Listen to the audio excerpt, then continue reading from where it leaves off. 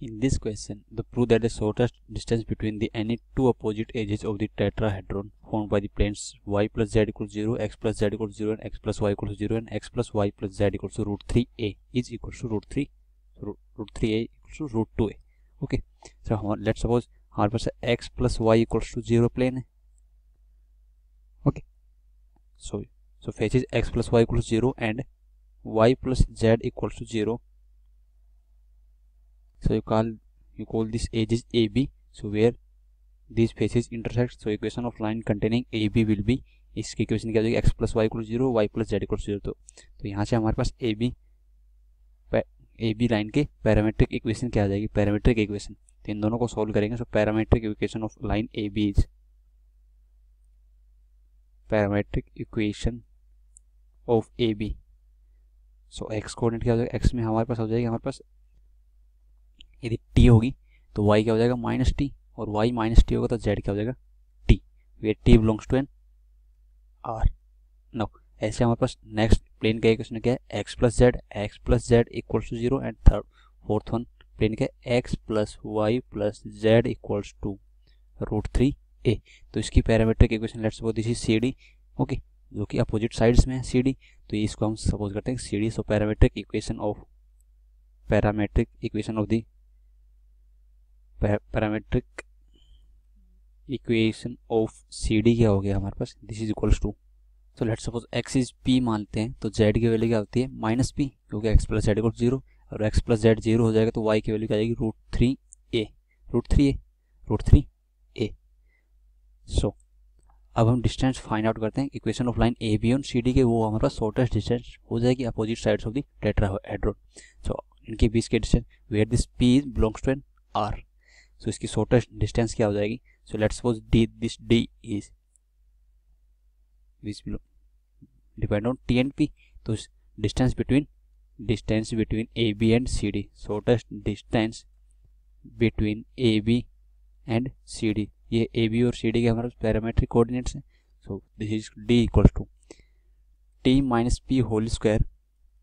plus minus t minus root three a means t plus root three a whole square और plus t plus p whole square whole square तो यहाँ से D square क्या आ जाएगा? D square हमारे पास क्या आ जाएगा? इसका होल स्क्वायर करेंगे तो यहाँ से t square plus t square plus t square means three times of t square हो जाएगा और p square plus p square means हमारे पास two times of p square हो जाएगा। माइनस टू टी पी और plus two two two p t p से cancel out हो जाएगा और आ जाएगा हमारे पास थ्री ए स्क्वायर की वैल्यू आ जाएगी। थ्री ए स्क्वायर और plus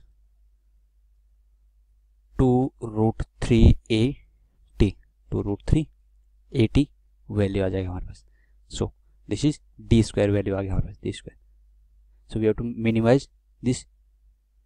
d square over t and p में। टी और पी में हम मिनिमाइज करेंगे तो यहाँ से इसमें रिलेशन क्या आ जाएगा? So let's suppose this is f और this is three t square plus two p square plus three a square plus two root three a t और टी और पी में इसको करेंगे तो यहाँ से हमारे पास डिफ्रेंशिएट करेंगे किसके रेस्पेक्ट में? टी के रेस्पेक्ट में। So d f upon d t हम फाइंड आउट करते हैं तो हो जाएगा सिक्स टी और plus two root three a is equals to zero is equals to zero होगी हमें मिनिमाइज करना है हमारे सो टी की वैल्यू क्या आ जाएगी? Two minus two root three a by six so two से थ्री टाइम्स कैंसिल आउट होगी वैल्यू क्या आएगी minus a by root three t equals to minus a by root minus a by root 3 so so minimum minimum value attained at t equals to minus a by root 3 a by root 3 for p equals to zero के लिए, p equals to zero के लिए. तो यहाँ से distance क्या आ जाएगी? t कोमा p, t की वैल्यू क्या minus a by root three so distance d square as t is minus a by root three और p की वैल्यू क्या थी zero this is equals to three t square so three into t square value क्या आ जाएगी? T minus a by root three तो इसका whole square आ जाएगा a square upon three